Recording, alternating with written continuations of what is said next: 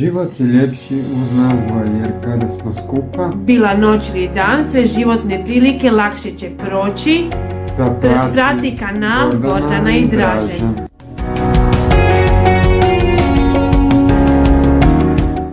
Dobrodošli na naš YouTube kanal, s vama su Gordana i Dražen, svi koji niste e, se pretplatili, pretplati- pretplatite se i sada.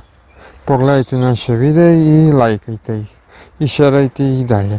A danas će nam Gordana jako nešto lijepo ispričati. Danas govorimo o majci Božje od kamenitih vrata. Vrata simboliziraju mjesta prolaza iz jednog područja u drugom.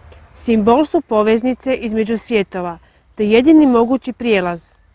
Najčešće u simboličnom smislu iz područja profanoga u područje svetoga. A vrata svetišta simboliziraju vrata neba, kroz koja se ulazi do svetoga. Kamenita vrata, jedan od tih, jedna od tih vrata su i kamenita vrata u Zagrebu.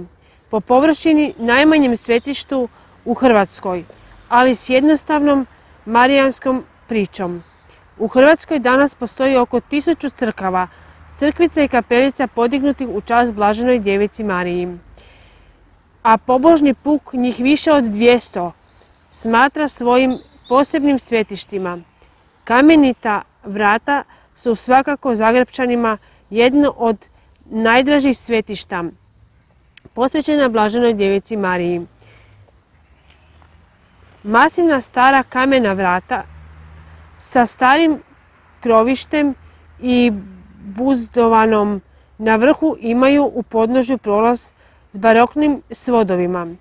U udubljenju tih gradskih vrata nalazi se kapelica Majke Božje, kamenite ili svetišta Majke od kamenitih vrata. Kad se 1242. godine Hrvatsko-Ugarski kralj Bela IV. zlatnom bulom proglasio Zagreb slobodnim kraljevskim gradom, Zagrebčani su dobili pravo da grad okruže zidinama. Utvrđivali su gornji grad jakim zidom, a za prolaz ostavili troja vrata.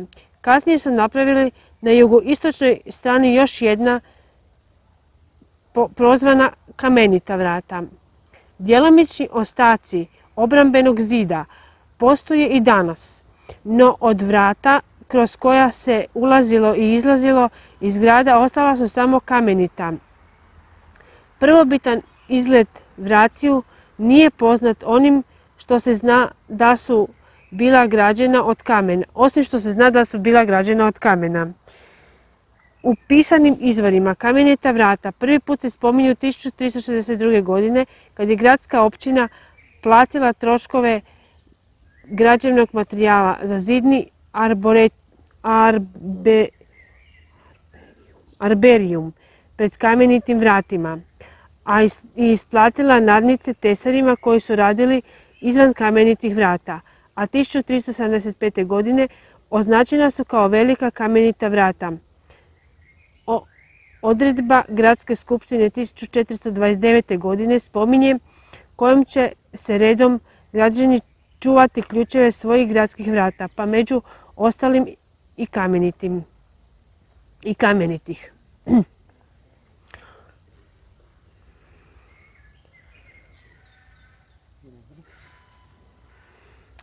Baš ono što tražim ne mogu naći. U velikom požaru koji je u noći na 31. svibnja 1731. godine buknuo u zgradi sjemeništa Svetog Josipa. Strada je gornji grad. Zbog vjetra sutradan se vrata vatra proširila i na Kaptol.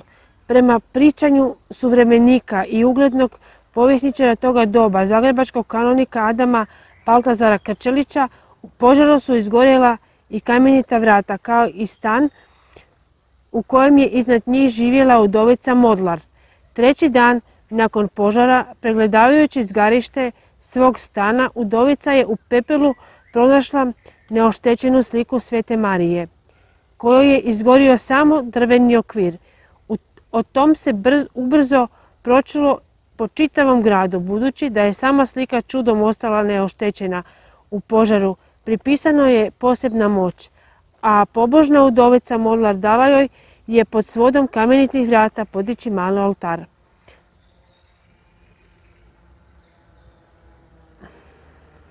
Slika je smještena u središtu oltara na kojem se ističu kipovi Svetog Petra i Pavla, četiri kipa anđela, raskošan gospin, monogram sa slovima R i A, kratica za Regina Angelorum, kraljica anđela, uz pozlačenje barokne urese. Iznad gospina, gospine slike ističe se tekst Pomoćnica u svim nevoljama i protiv požara.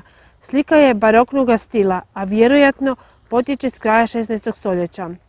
Nepoznati majstor naslikao je na platnu 54 puta, 57 puta 47 cm. Blaženu djevicu Mariju kao kraljicu na prijestolju. Uz nju iz, iz oblaka proviruju glave anđela, a pod nogama joj je mjesec i brežuljak. Desnom rukom drži dijete Isusa, raskriljenih ruku, a u ljevoj žezlo. Isus lijevom rukom drži zlatni globus. Primjećuje se da je slika sva iz, izbodena. Izuzev lica Isusova i Marijina. Vjerojatno je to od nekadašnjeg vršenja skupocjenih zavjetnih, vješanja skupocjenih zavjetnih darova po njoj. Od se ta slika Majke Božje od kamenitih vrata posebno časti. To je ujedno i početak današnjega svetišta Majke Božje na kamenitim vratima. Oltar i gospina slika zaštićeni su 1758. godine prekrasnom kovanom ogradom, dijelom zagrebačkog obretnika Ivana Jurija Korta. Najveća je to među baroknim željeznim rešitkama u Zagrebu.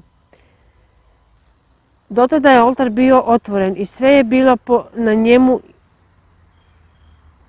lako dostupno i na dohvatu. Današnji oblik kamenita vrata dobila su 1760. godine, što je zabilježeno u kamenu nad sjevernim ulazom. Prigodom 10. obljetnice očuvanja gospine slike u požaru 31. svibnja 1931. godine slici je pridodana i zlatna kruna s draguljima. Zagrebački nadbiskup Anton Bauer okrunio je likove majke, e, likove Marije Isusa zlatnim krunama draguljima. Krune je izradio zlatar Vlatko Mesić prema nacrtu akademskog slikara Joze Kljakovića koji je sudjelovao i u restauraciji crkve Svetog Marka tih godina.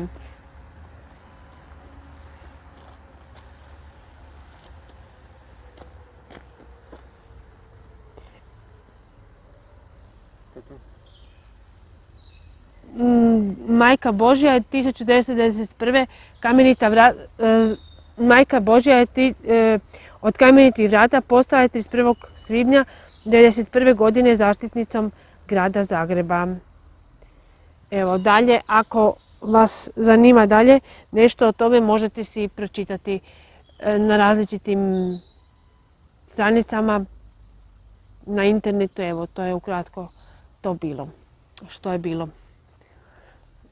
vidimo se u drugom, u sljedećem videu. Kao što je Gordana bila rekla, eto, lijepo je pročitala, malo nas je upoznala sa novitetom. Jest da je malo više trebalo, jer je to, ujedno i povijesno, pa sam zato i tek sam, da vam iskreno budem čitala iz Eto, danas smo... ali možete vi sami pročitati još nešto. Mi smo danas naučili novu stvar, eto o kamenitim vratima, a iduću temu ćemo vidjeti što dolazi po redu. A mi se od vas sada opraštamo i vidimo se u sljedećem videu. A do tada nas pratite, šerajte nas, gledajte nas, gledajte naše ostale videe i vidimo se. Pozdrav od Ekopara. Od Ekopara.